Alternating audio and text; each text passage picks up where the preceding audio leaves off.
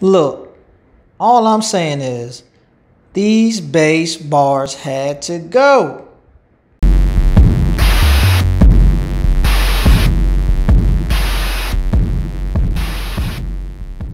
All right, so the problem I'm having right now is with these handlebars.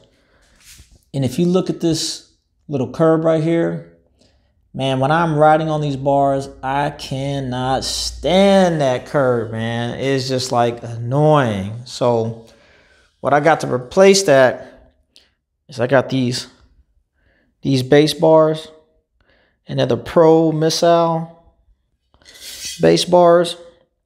And I love how this hand rest is flat. I think it's to be so much better when it's on the bike. Better and comfortable.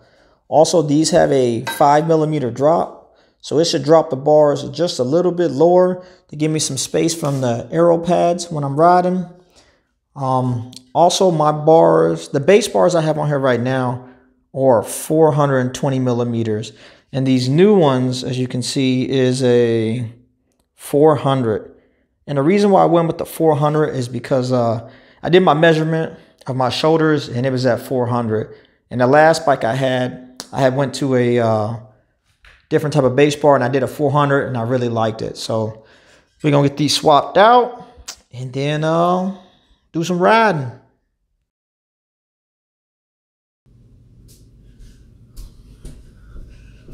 All right. What's going on? Let's talk about some base bars, right? Getting right to it. So, the new base bars. I got the um the Pro Missile. And man, I'm about to say I got I had them on the bike for I don't know, a couple weeks now. Uh I probably logged about 400 miles on the bike with the new bars and I got to say man, I, I I love it. It's just it's pretty much everything I thought it was going to be. Um, I can't really complain as far as the way they handle, the way they feel, the price point. I feel it was like a win-win all the way around. I did do some minor adjustments to make it work for me. Um, and what I mean by that is a lot of the bars, the, the grip, uh, the diameter is very small. And I personally just don't like small grip things. I like a larger grip. So what I did was I put a piece of um, pretty much like the rubber grips.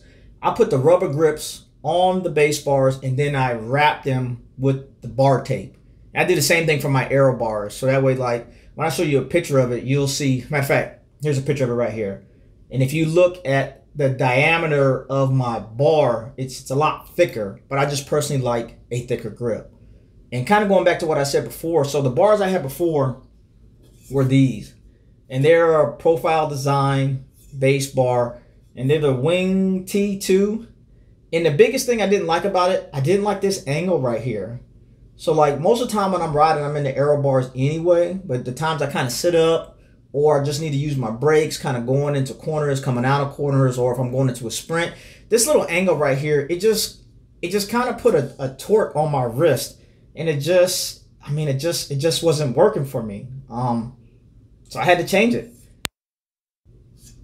My bad. So I really like the profile design. They make a lot of good stuff. I was gonna go with the profile design carbon bar, but the reason I didn't go with carbon bars is because um, the mainly like the torque spec. And like me, I do a lot of adjustments on my bike. So having, I think if you have carbon, you should have carbon everything. You should have a carbon stem, carbon base bar, carbon aero bars. And right now I have like a alloy, you know, alloy stem, alloy base bar, alloy aero bars. And whenever I'm making adjustments on the bike, and when I say adjustments, it's like so right now on my on my stack height, I think I have 40 millimeters high. And then sometimes I'm, I'm feeling I'm feeling more more nimble, and I'm like, you know what, I want to slam it. So I may drop it, I may drop it 20 millimeters or 40 millimeters, you know, and I may ride it a couple times, and, you know, I'm gonna raise it back up. And every time I adjust my bike, anything to do with the front, the handling, the seat, anything to do with the bike, I always torque it to spec. Because when you ride in like 30 miles an hour on the bike, uh, that ain't the time to figure out like, man, is this really tight? So I'm always torquing stuff down.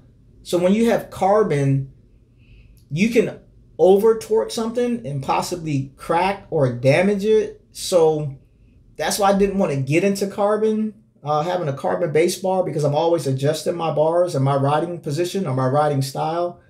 And they make stuff that um, helps fix or alleviate those issues.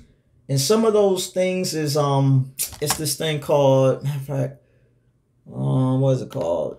Uh, fiber gel, right? And in fiber gel, all that is is let's say you got to use hypothetically, you got to use like 20 pounds of torque to torque carbon down. If you use the fiber gel, the fiber gel, it's a gel and it's kind of like a Loctite. So instead of 20 pounds, you only need like 10 or 15. And I really like the concept, but I don't know how hard it is to take that gel off or once you, um, I guess, break the seal how is it is it still good? Do you have to reapply it? And like i said i'm doing so many adjustments. I know i didn't want to get into messing with that especially when it comes to the handling of the bike. So i just went with an alloy alloy bar because it just it just it was better for me. And the pro missile i mean it's just man it's, it's lovely. I just i just love it. And i think the thing i like the most about the bar i mean is dude the bike is so clean. It's so like just just look at this it's so simple. It's so clean. I mean, it looks aggressive. Like, I just love it. I mean, I, I really can't complain. So, I mean, if you're looking for a new base bar, something simple, good price point, uh, handling, performance, and you think it's going to work for you, I mean, check out the Pro Missile. I mean, you can't go wrong with it. Great buy, great pick. Yo, like, vibe, subscribe. Follow me on Instagram, underscore Robb Armstrong, and check me out on Strava.